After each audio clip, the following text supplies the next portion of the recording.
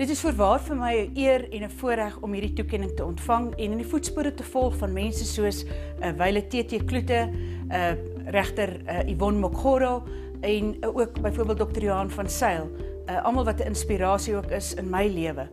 Ek is 'n uh, persoon wat daarvan hou om in diens te staan van my gemeenskap uh, om dinge te vermag en mense se swaar kry te verlig. En daarom dien hierdie toekenning dink ek in my geval veral om my te motiveer en ook te inspireer om nog meer te doen. Uh, die universiteit is ryk aan tradisie en in hierdie tyd van jou jonk wees uh, word herinneringe al gebou en hierdie herinneringe dien as brandhout vir jou ou dag. Uh, jy leer om wonderlike vriende te maak wat reg deur jou lewe eintlik by jou bly en jou ondersteun. Uh die universiteit is ook 'n plek waar jy uiteindelik gaan om 'n graad te bekom of uh, in jou uh, toeterus uh, wat jy gaan toerus vir die uh, beroep wat jy uiteindelik gaan beoefen. En daarom dink ek is dit belangrik dat jy moet weet jy moet ook hard werk.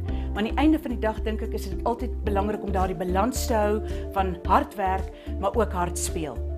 En laastens maar nie die minste nie dink ek uh, vir die universiteit uh, sal dit net uh, goed gaan op sy pad vorentoe as die universiteit onthou waar hy vandaan kom, sy ryk geskiedenis steeds uitleef en ook 'n toekomsgerigte visie vir die toekoms op die pad saamneem.